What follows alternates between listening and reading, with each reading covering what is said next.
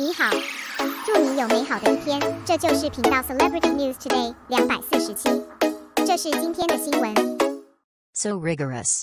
Xiao Zhan's official business announcement also avoided special events, and two business seats were prepared at the same time. Xiao Zhan settled in Beijing from the period drama The Sea and the Dream and was pressed by brand fathers to shoot advertisements there. After all, it owes a lot of advertising materials, which is recognized by readers as a sense of picture.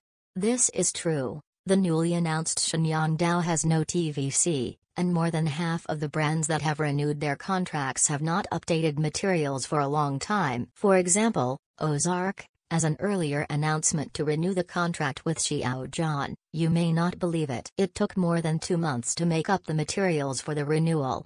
It was hard to wait until Xiao Zhan had time. The materials were also filmed, but they were stopped due to sudden social events. At the same time, Xiao Zhan's business that was about to be officially announced was also called off. Don't look at a small move, you have to sigh. The experience summed up after being beaten will always be useful. Tongshan social events that have recently attracted the attention of the whole people, whether it is the brand or Xiao Zhan's team, become more and more sensitive in these aspects, and even have developed a tacit understanding. Closing business on special holidays takes up public resources, and even business officials have now avoided these special events. Let those who are nitpicking in the egg want to find a reason, but can't find the opportunity. This is to have a clear understanding of your own traffic.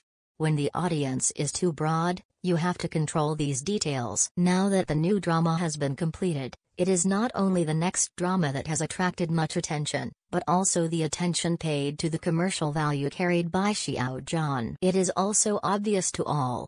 Destructive, jealous, anxious, whatever, but none of these can shake Xiao Zhan's consolidated business value. I believe that many netizens have seen the materials of Tsingtao beer from Reuters. A tunic with a high belt and a belt with Martin boots has once again reached a new level of coolness, and domestic products can also become trendy brands. I don't know why, after many seats in luxury business and national business, even after the brands that are often used gradually become endorsed by Xiao Zhan, even if the identity of the ordinary brand immediately rises from the ground, it directly becomes high end.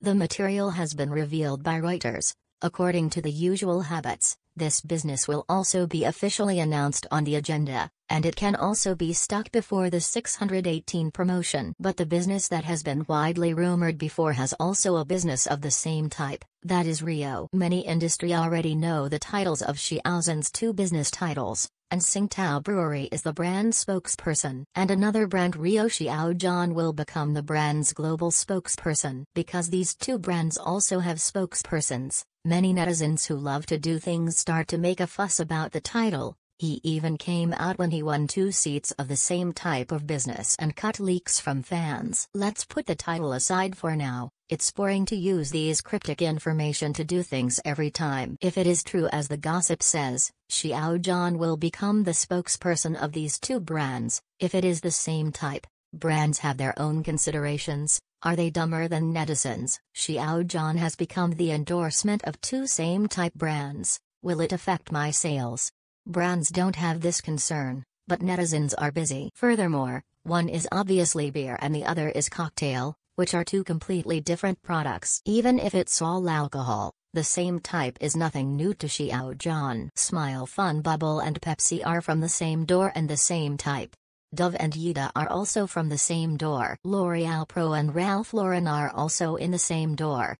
And these are nothing, even high luxury. After having Tod's full line endorsement, he also won Gucci's full line brand spokesperson. The brand not only gives Xiao Zhan the highest treatment, but also does not restrict him from cooperating with the same type of endorsement. This is a rare phenomenon in internal entertainment.